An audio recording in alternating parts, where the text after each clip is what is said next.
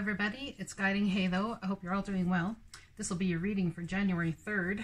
it seems to me it's about cycles ending, about asking people for help and support during that cycle ending, and still trying to have joy within while that is all happening. So let's see what this means here. Reach out to your tribe in times of need. So it's about asking, and this is the penguin. It's about being authentic to what your needs are and understanding the way you feel is there for a reason and honoring that. Family gives you strength when you face the storm. Now, this doesn't mean biological family, it could mean friends that you've made as family or whoever in your life resonates the most for you for strength, perhaps, or guidance. Love your uniqueness. So, honoring yourself, honoring yet again how you feel, honoring the way you see things, honoring the fact that perhaps we don't always know everything and asking for guidance doesn't mean we're less than or anything like that. It just means that perhaps we are very open to other perspectives or opinions or trajectories we've perhaps not laid our eyes on yet, our heart on yet, our thoughts on yet. Interesting. You are full of surprises. Break free from others' expectations. Just be yourself. So, trust the things that you need and that you feel a certain way for a certain reason. It's very important. Okay? Just one moment here. Let me pause this.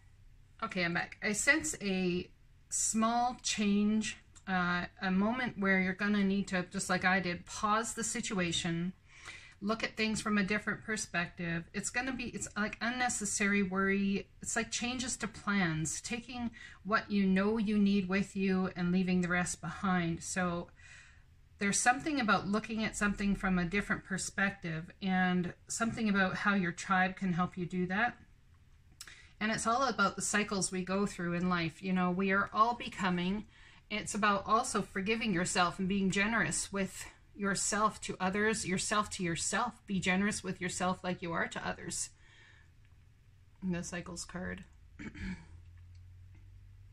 Surrender to your changes. Release your fear. Trust this powerful process. So trust that what's in front of you is what you can deal with. Trust that you have everything in your arsenal to deal with it, whether it's uh, friends who are going to help guide you, whether it's, uh, you know, well, it could be anything. It could be synchronicities that are guiding you. It could be family, could be friends, could be anything, but surrender to your changes, release the fears that hold you back. Trust this powerful process. Trust mostly that the divine has you and that you wouldn't be in what you're in or facing what you're facing if you didn't have what it takes.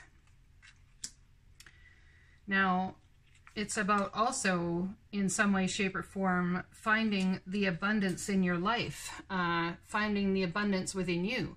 When I make a joy a priority, brilliant ideas will come naturally. Support will surround me and movements will form. So it's about being joyful. And I love this card, it's so beautiful.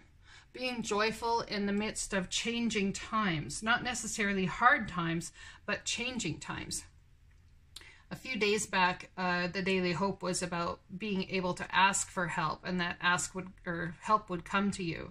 Um, also, more ways to ask would come to you. So, making joy a priority, and just having fun and enjoying every part of your life. It's about being able to enjoy the contrast. So we have how do you enjoy contrast? Like, how do you enjoy the hard times? How do you enjoy it's by having a perspective and understanding that if you have a stick and you hold the center on one end's one thing, one end's another thing. This is I learned this all from Abraham Hicks guys. You can watch them online. But you have a stick and on one end's one thing and one end's the other thing. Well, it's all the same conversation. So if on one end is the positive, then on the other end is the negative. And the stick is vibrating. Now, depending on where your energetic uh, perception of how do we say, what it is that you focus in on, what your energy hones into which end of the stick is where you're going to feel at any given time regarding that subject, okay? So if this end is vibrating and you're all going positive and it feels great, well, there's the other end of the stick, which is also the negative. So when something happens and all of a sudden a stick forms and it's created out of something amazing that's happened and you might be flowing here but others aren't. Perhaps the other end of the contrast is that they're flowing at this end.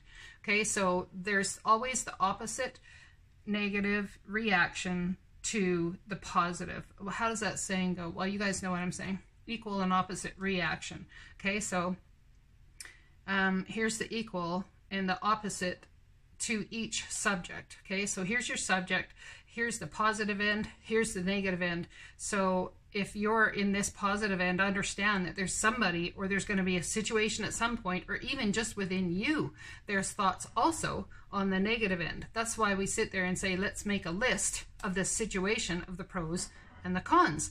But I'm here to tell you that when someone comes along giving you their negative on the situation, or you even give your negative on the situation, just simply say, you know what? I reject your reality and I replace it with my own because I see the contrast is beautiful. And the contrast, the negative on this end that someone has is beautiful because it's going to point me more towards a direction that's going to help the whole stick vibrate in balance. Okay, so it's going to bring, okay, this person might have to think a little higher in vibration. This person might have to understand where this person's at or think on their level of how they feel. And in doing so, might bring this person a little higher up in vibration.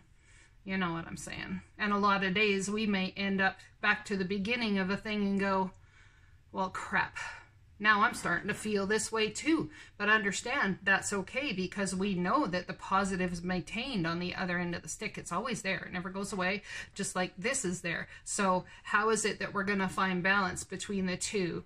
And it's not about bringing other people to our way of thinking, okay, on this end. It's about possibly in holding this vibration is what actually helps them move upwards. And I wonder if the stick can disappear and somehow when it's all sorted and said and done, we end up holding it like this. Interesting, I just saw the Ace of Wands come out in the tarot deck. So if we have a stick and we're holding it like this all of a sudden, guess what? It means we're pointed up in direction and there's a new wand of opportunity being handed to you, okay? A new wand of opportunity being handed to you. Perhaps the bottom and the negative all goes because everybody comes to this middle point of where it was started and seeing the beauty that you could all head up towards. All because of a stick, okay? Interesting. So when you decide and everybody gets on board to realizing that this is an opportunity, then that's when everybody starts to move forward together. It's not one pulling on one end, one pulling on the other end. And that's when also when people start to get on board and start to come this way, we actually then remember if it's like this, we're actually then it's like everything comes up to the middle point here and we are all faced with dealing with our own negative contrast towards the situation okay? So it's like the Ace of Wands being handed to you here.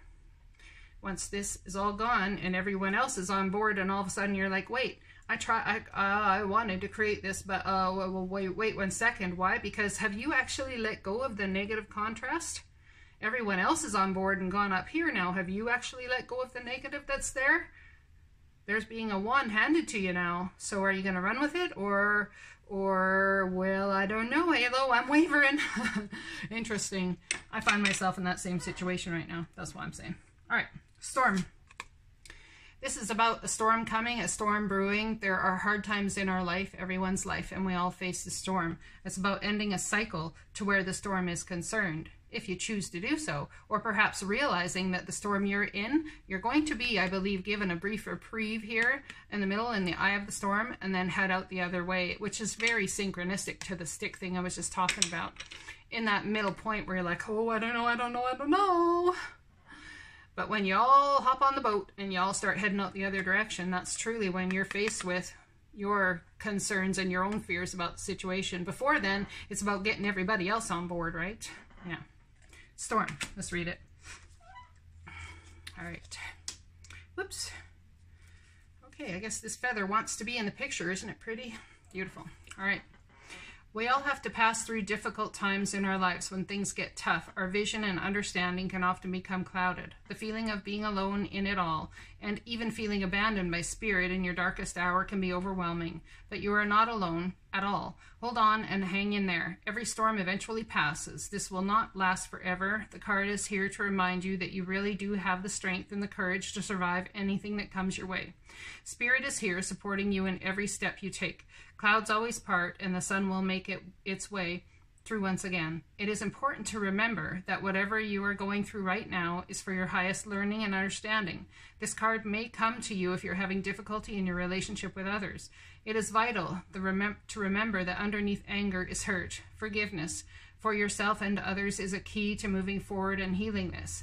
This card also comes if you are experiencing any type of crisis, whether it is in your daily life or within your inner being. Just know that is happening to enable you to see what is not yet in alignment on your highest good and what no longer serves you. This is your opportunity to make any needed changes in your life and to heal some very deep wounds from the past. Just know that you will survive this with your sanity intact. You will be stronger, more understanding, and more compassionate with yourself and others. Have faith in yourself, faith that you can and will make it through this. Spirit is here to support you as you find your own light at the end of this tunnel. So that's beautiful. I really needed to hear that too. We all go through storms, my friends, even the people sitting here reading tarot. Dearest you, since you're on Earth, you understand how buildings are built. Yes, a good solid foundation and yet flexibility too in case of earthquake. Truth be told, you can't offer something sustainable unless it is built from a solid base, whether it be an idea that takes form one step at a time or an actual house that needs a sturdy foundation dug, poured, and built. We want to remind you of this because you might need a little encouragement to see this is true in your life at this time. Celebrate the fact that right now you can repair the cracks in the foundation of your life effortlessly as well as go or sorry, as well as do a general site check to ensure your hard work is being well supported.